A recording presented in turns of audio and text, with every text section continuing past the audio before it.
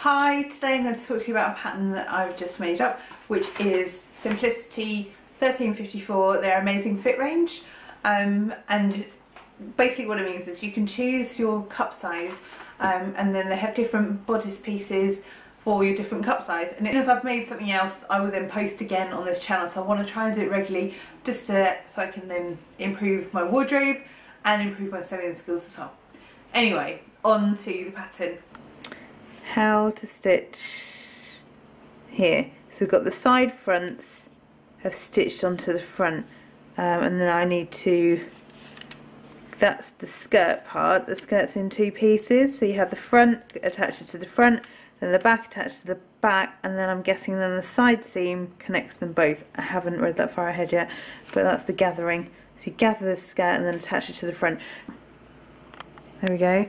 So I have put I've stay stitched the front so I put some loose basting stitches in here just to keep it from stretching out so that will be obviously on the inside or in the seam so you won't see that. But yeah so these are the front two bits and then I've just attached the side bits here.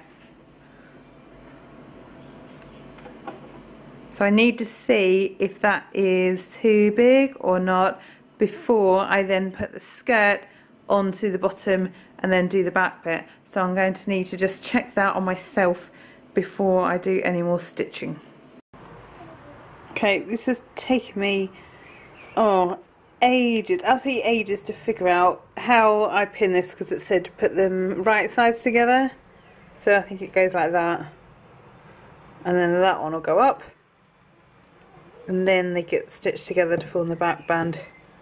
I could not figure this out at all. It just wasn't obvious. There's three little buttons which attach at the back band and I didn't realise this because I didn't really read it that closely I suppose it doesn't really show up because it's on a pattern fabric on the pattern envelope only when I came to sew I thought how does this go together and then I was like oh I've now got to sew buttons on it so it was okay it was fine and actually then I realised I can get the dress on and off by just undoing the zip and I once those buttons are done, are done up you don't have to undo them and do them up every time because that was one big concern like trying to stretch around the back and try to get them done up but it's fine you just do them once you sew them in and that's it I then pin the loops on and just stitch over with a long stitch on the edges to keep them in place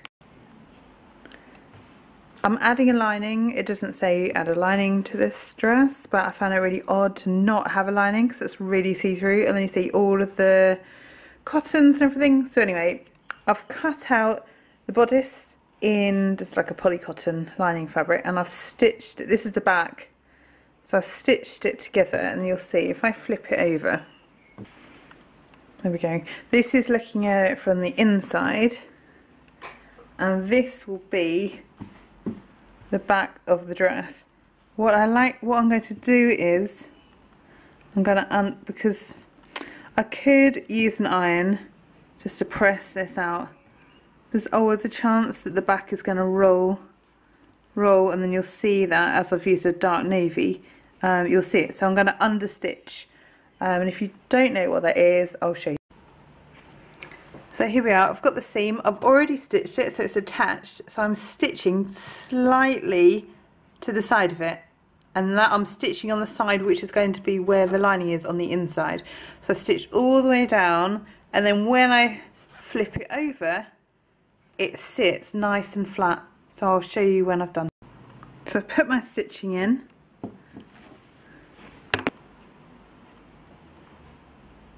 and there it needs an iron um, but it helps it just to sit flatter when you've got the lining so it stops it from rolling out. No, I shortened the bodice by an inch for petite because I'm five foot three and then the back was still really low. I've raised, I sewed it up another inch. I couldn't take it in anymore because then it would just make the bodice too tight because I didn't realise until after I'd cut all the fabric out that actually it was quite low at the back. So hopefully with this adapter for my bra it will be okay. I thought I would just show you the back of the dress because I'm not sure how clear it is on the photos. So I'm just going to whiz around but you have to excuse me, I have got a nude bra on but you can see it poking out especially at the back which that will be sorted before I wear it out in public but like I said in my previous clip I'm just waiting for the adapter to come through.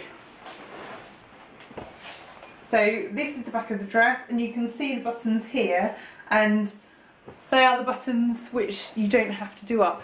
Um, you do them once um, and that's it.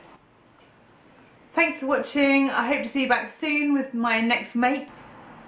Um, you can find me on Instagram as Halesmore7 or Twitter, it's just Halesmore and I will see you again on this channel soon. Thanks, bye!